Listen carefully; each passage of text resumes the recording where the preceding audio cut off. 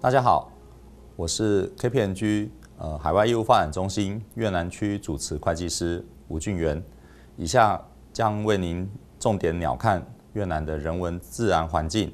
呃基础建设，还有你所需要知道的投资与租税相关法令。好，首先是自然与人文环境的部分。那我们看到呃这张投影片。这边有一个越南以地理人文的一个基本资料的一个介绍。那我所要强调的几个重点哈，第一个就是它的面积啊，越南的面积哈，我们跟台湾相比，大概是呃台湾的九倍大，所以以投资的角度来说，它具有一个相当的一个腹地。第二个是它的人口其实已经接近一亿人。所以，以制造业的劳劳动力的需求来说呢，越南其实是在东协国家里面相对来讲劳动力还是算是比较充足的一个国家。它的首都是在北方的河内，那但是呢，经济的发展中心目前呢，事实上还是在南方的胡志明市。那它是呃，还有一个很重要的重点，它是一个南北狭长的一个国家哈。我们坐飞机从呃河内飞到胡志明市，这个他们的黄黄金航线哦，它的单程的时间大概接近两个小时。那所以我们可以了解到，它其实这个南北的幅员其实是呃相当的呃相当的一个有相当的距离。那因此呢，也会造成一个很重要的一个人文环境，就是说它其实呃越南人呢在南方跟北方，它其实就会产生了一个地域上的一个差别。甚至包括语言的一个方言的一个腔调，还有包括说一个人民的生活习惯啊等等的。所以说，呃，各位台商如果想要到越南投资的话，其实这个南北差异的状况，那一定可以会感同身受哈。它的 GDP 最近呢，其实都是一个在成长的情况哈。那我们可以看到它主主要的进出口国家哈，那出口对象最大的其实还是在。在美国的一个部分哦，那因为它跟这个中国接壤哦，在北越的部分，所以其实它有蛮多来自大量的中国的一个进口，然后在越南这个原物料加工以后，利用越南的呃劳动力再加工去进行出口，那这也是目前呃越南呃一个创造外汇的一个主要方式。那我们可以看到，它其实主要的外资来源呢，其实就是日本啊、南韩啊，哈。然后像中国大陆、香港还有台湾等等，那其实台湾会是呃最早进越南的一个外资的国家哈，所以其实呃私底下来看呢，我觉得越南人民对台湾其实算是呃一个呃算是友善的一个态度。那在政治的体制上面呢，它也是一个呃共产主义的一个国家哈，所以这也会体现到它在后续我们呃。稍待会介绍的一个经济的一个发展上面，其实都带着很浓厚的这个呃共产主义的一个计划经济的一个一个色彩哈。好，那接下来我再呃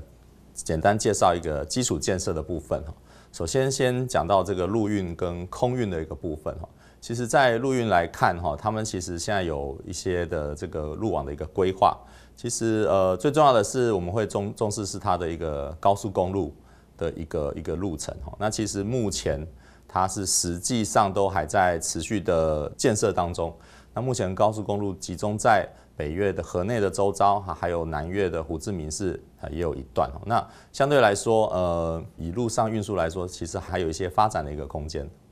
那这边再提到空运的部分哈，因为越南有几家的航空公司哈，那最主要的机场呢，就还是我们刚才提到的两个最大的都市哈，河内跟呃胡志明市都有这个国际机场。那中越的一个岘港呢，它也有一个国际机场。那其实除了这几个之外呢，呃，越南因为它是一个南北狭长，所以其实它在这个空运来讲，对它来讲是一个蛮重要的一个呃往来的工具哈。重点是还有这些机场的相关的一个物流中心哈，那这个目前也是在河内的内排，还有这个胡志明市的一个新三一国际机场。那其实呃，我我接触台上的一个经验哈，其实除了呃陆空运以外，大家会更重视的是一个海港的一个概况哦，就是说这个我们货运的一个出海口哦，到底运输的方便与否？我们可以看到这张图片哈，它可以分成大概是五五大区块了哈。那这是越南的一个计划经济的一个计划哈。那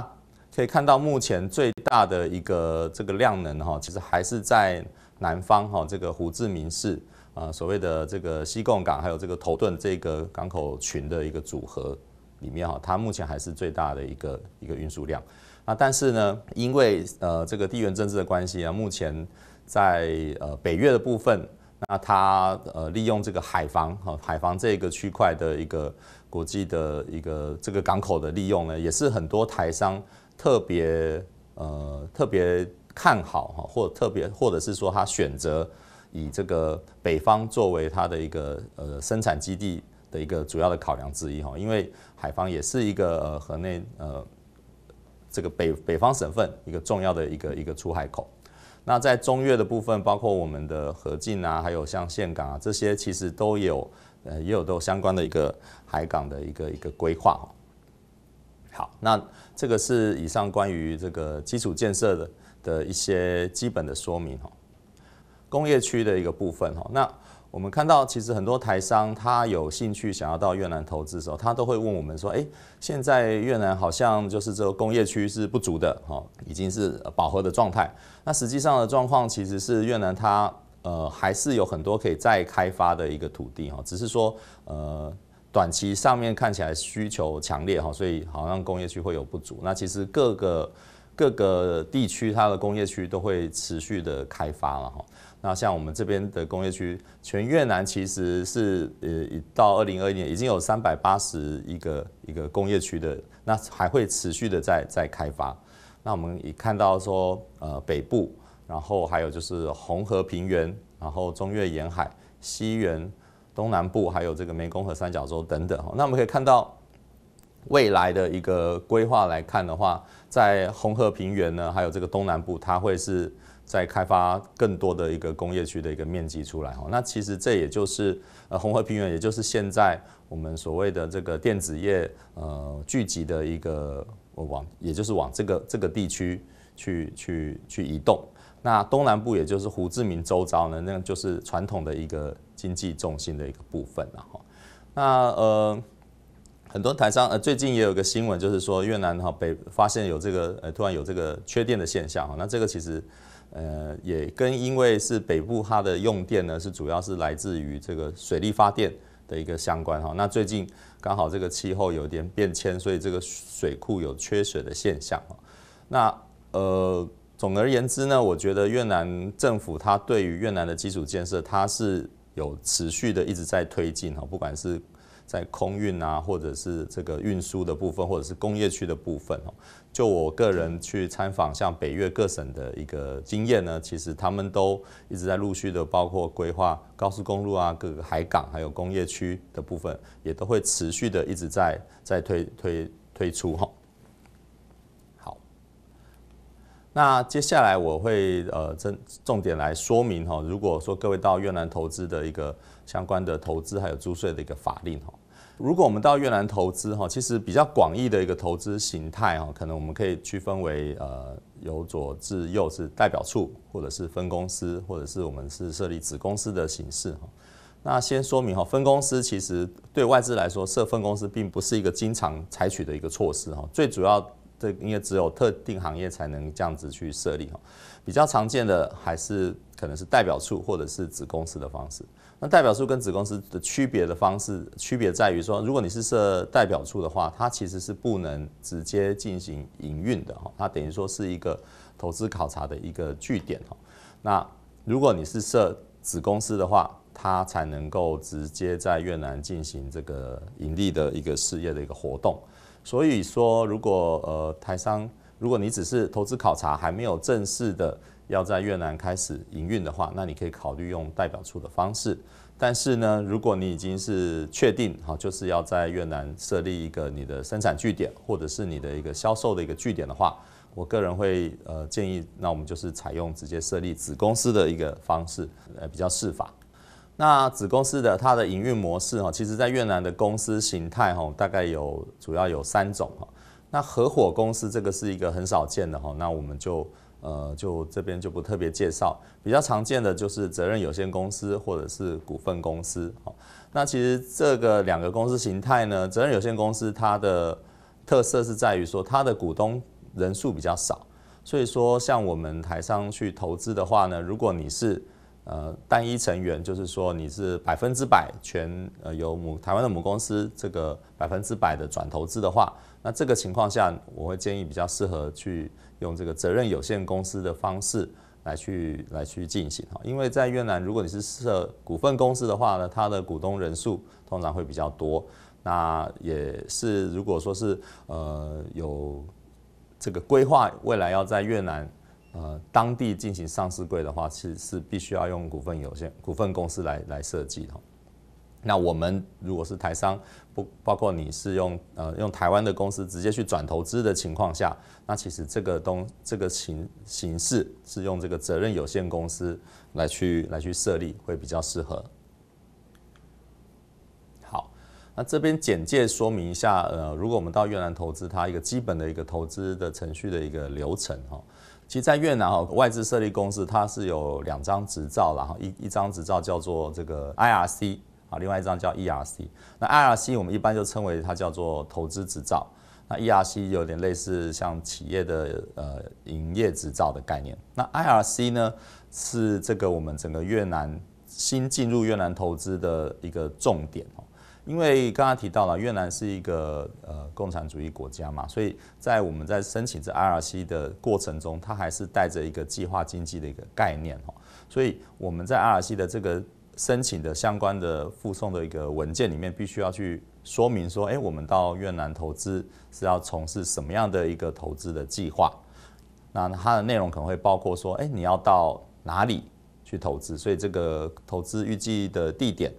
还有说你预计投入的一个资本额，还有说呃，包括说你呃这个呃投资方是谁，那他的代表人是谁，还有说你预计什么时候在越南开始正式的营运，这些资料呢，其实都会是在这个投资指导里面去说明。当然最重要的，你一定要去说明清楚，说哎，你到越南是要做什么？比如说你是要生产啊什么东西，那你的年产量大概是多少？这样子的一个一个一个呃申请的一个内容哈，那呃这个可能会造成台上的一些在实际上我们在实物上会遇到一些看到一些状况，就是说诶，它的呃实际的运作的方式呢，可能会跟这个投资计划和投资的预案的内容可能没有办法完全一致啦。比如说它呃实际生产的时间，好，那这些遇到这样子的状况的时候呢，其实它后续就会产生一些租税上。或者是它这个财务运作上的一些困扰哈，所以我我会建议说，各位呃，如果说要到越南投资的时候呢，那这个一开始这个 IRC 的这个设立的它相关的这个文件呢，其实大家就必须要好好的呃仔细的去检视了。好，那法令规定其实是收到这些有效的文件以后呢，政府会在呃十五天内去进行核准啊，或者是说去否决嘛哈。那实际上，我们的经验其实这个时间其实可能会要再拉长一点哈。一方面是我们在需要准备的文件呢，可能需要做一些修正啊等等的这一块哈。我我的我的理解是说，呃，越南为了这个招商引资哈，其实像比如说在北北方各省哈，它其实核准单位哈，就也就是说这个计划投资部哈，计划投资厅哈，它其实都会在持续的加速这样子的一个过程哈。那我也有听到，其实它这个时间真的已经说的很短了。但是可能还是要看实物上的一个运作的状况。刚才提到了嘛，哈，诶，如果说我们是到越南投资，你先要有一个这个投资计划嘛，所以投资计划里面已经要有个地址，所以变成说，其实我们到越南的第一步，哈，如果是以生产事业来看的话，第一步通常就是去考察，我要去看土地。那刚才看到了哈，越南有全国有很多个工业区啊，我个人经验然后他们台上就会到处的去。去去看土地哈，你看土地的过程，那个因为越南的工业区呢，其实都是有一个开发公司，所以你变成是跟开开发公司去取得这个呃土地使用权，会跟他签一个 M O U 哈，你要签到这个备忘录，才有办法往下做这个呃公司设立登记的一个程序嘛哈，因为刚刚提到了你在公司设立的这个申请文件里面，必须要跟他说，哎，你你要你要在哪里设厂。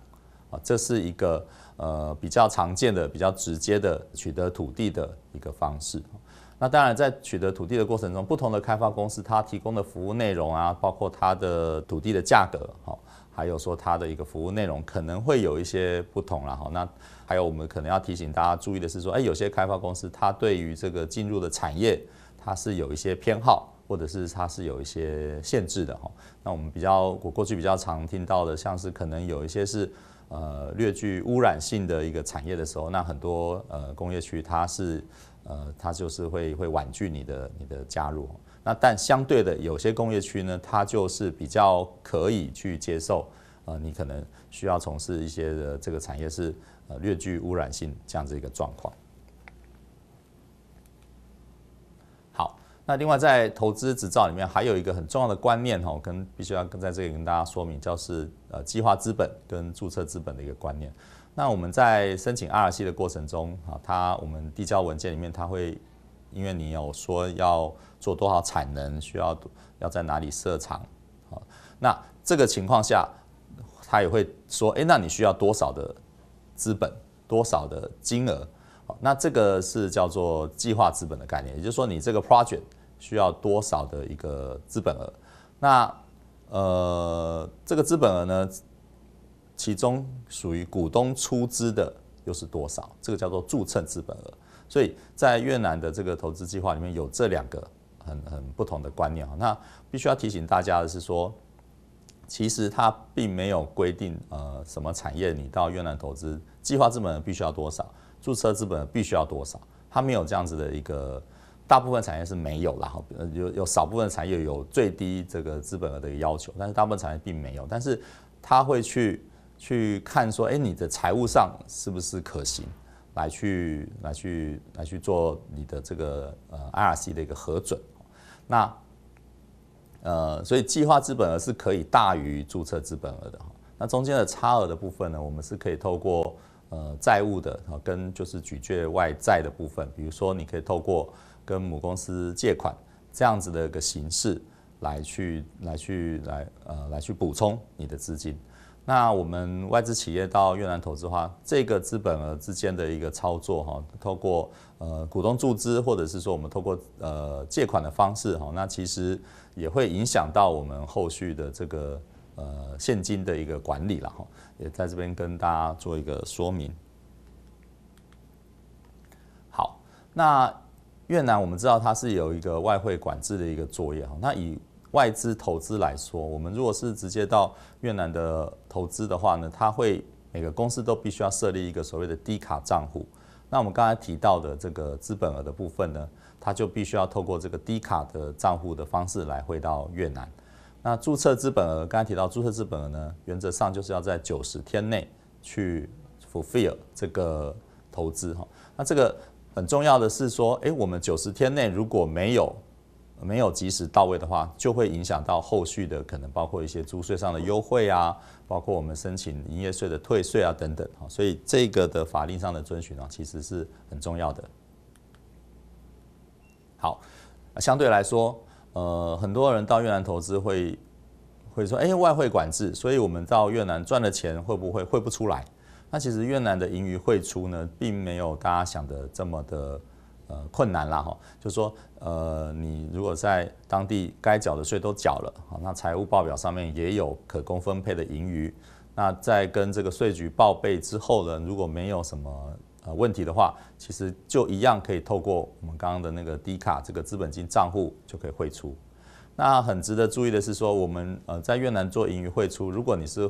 对呃法人股东，也就比如说是台湾的母公司。汇出来的话，它是不需要再经过扣缴的，这个跟中国大陆的状况可能是有一点差、有点区分的，这边特别说明。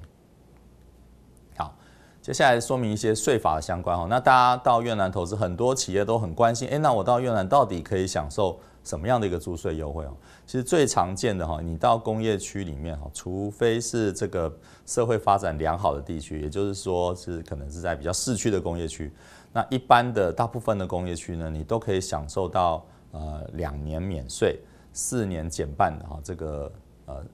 呃所谓的公司所得税的一个减免的这样子的一个优惠。那这个是最常见的一般性的哈。那如果说我们有符合一些特定的条件，包括如果你到它社会经济特别困难的一个地区哦，或者是你投资的产业是呃越南政府鼓励的，那这样的情况下，你是可以享受到四免九减半，就四年免税，然后呃九年的减半哦，然后是这个十五年十趴。因为越南目前的这个公司所得税的标准税率是二十 percent 嘛，所以它可以享受这个优惠的一个税率。呃，各位台商朋友，如果你到越南投资的话，你如果在跟工业区的一个接洽的过程中，先可以先确认哈，它到底是不是有这两免四减半。那第二个呢，就是在可以再研究一下，哎，你生产的这个产业呢，是不是符合更好的一个四免九减半啊，然后这个十五年十趴这样子的一个减免的一个条件呐。好刚刚是所得税的部分，那呃越南也有这个所谓的加值呃增值税了哈，那其实就跟台湾的加值式营业税是操作上是类似哈，不过他们的税率呢目标准税率是十 percent 啊，那目前呢它有一个从七月一号开始，今年哈有一个优惠税率是打八折哈，是八趴，那跟台湾的五趴是有一点区分。那但是呃，因为是这个增值型营业税嘛，所以它一样有这个所谓的外销零税率，然后它会呃相对的就会有这个退税、外销退税这样子的一个操作模式。其实它它在这个税法上这一块的基本概念，其实跟台湾呃其实算是类似的一个概念。那因为是类似的概念嘛，那我们知道台湾就有所谓的呃免税哦，就像好像台湾的早期的这个加工出口区，所以越南其实他们也有。呃，应该也是学到台湾这样子的一个概念哈，就是说它有一种叫做出口加工企业，我们英文把它叫做 EPE，它就是说你可以申请的，那这个加工出口企业呢，它本身就是一个免税区，就是境内关外这样子的一个概念，你可以申请。如果说我们到越南是基本上就是要做全出口，就是呃到越南加工完全部。原则上不会做越南的内销，那全部都要出口的话，你可以在公司设立的时候就去申请，我就是要做这个 EPE。那这样子的话，你就你本身你就不用去去做这个增值税的一个申报的一个作业嘛，哈。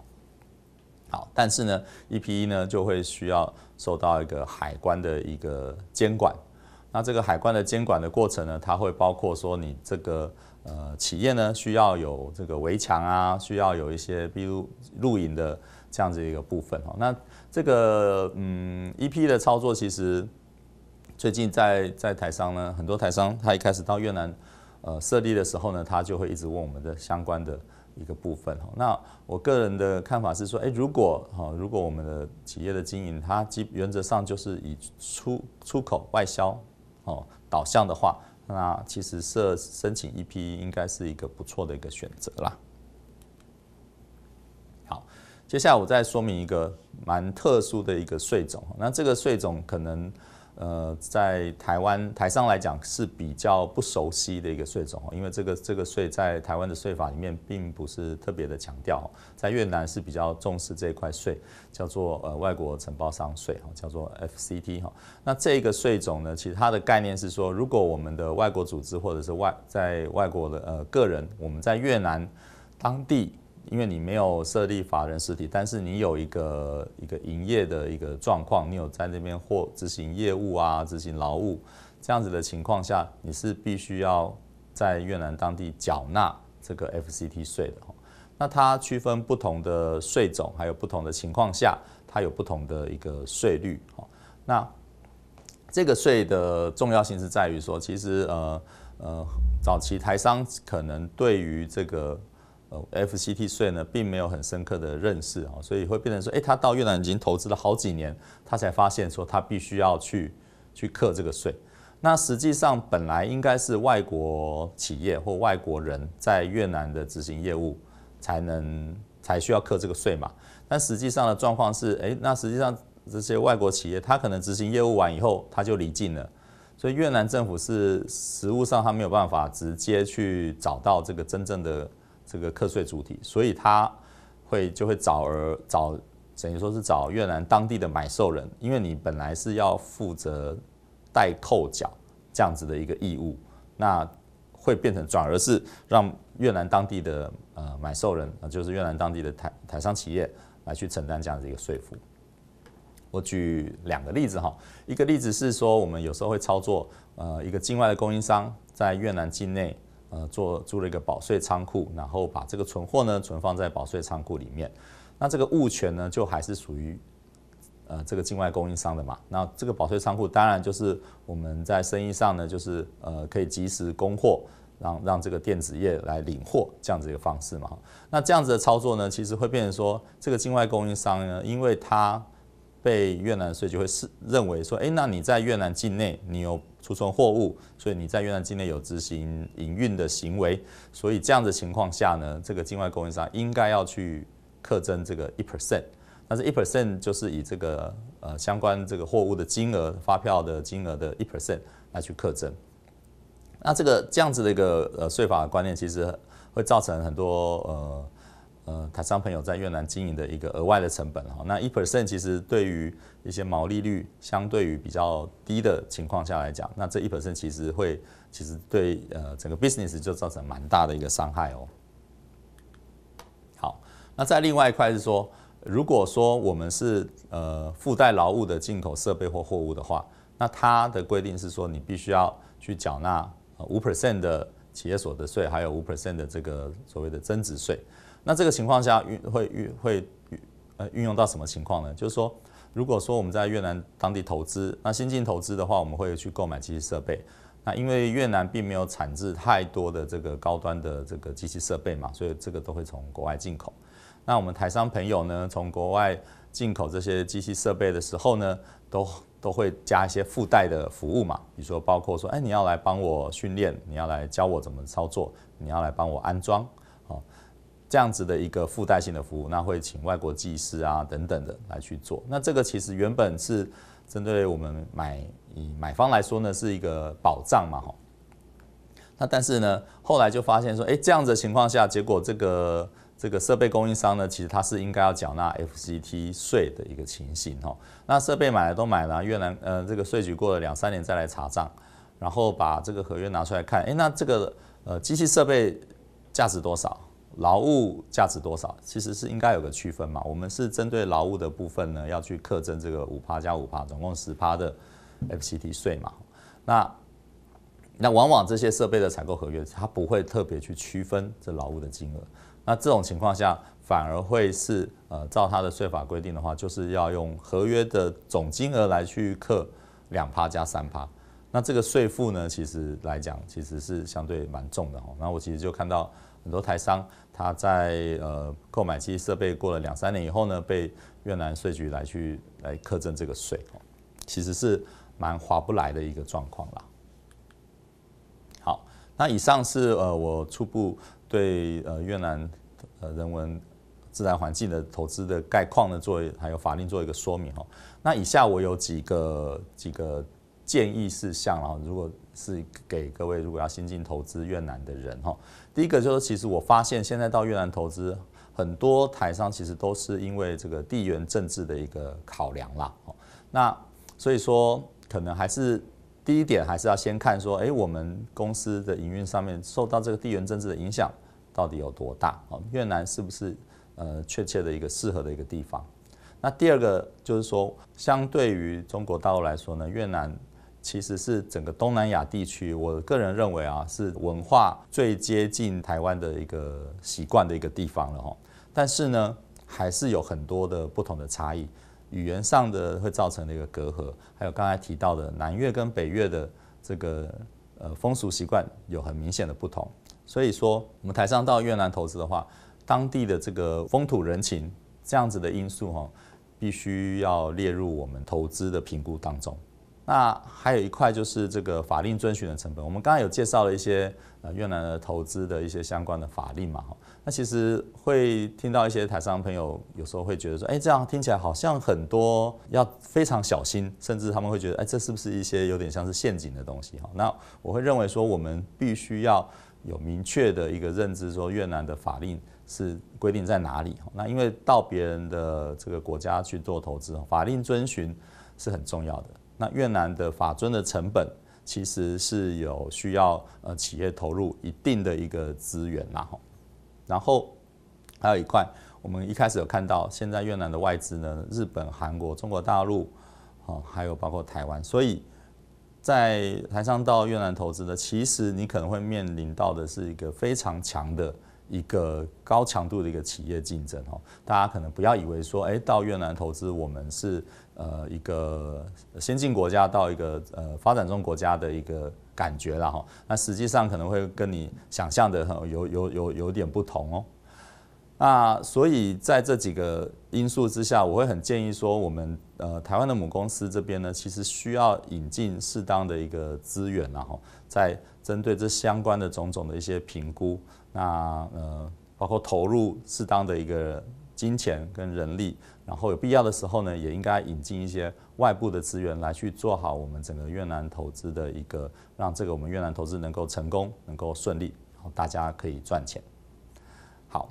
那以上是我对布局越南的一个关键指引啊，谢谢各位的收看。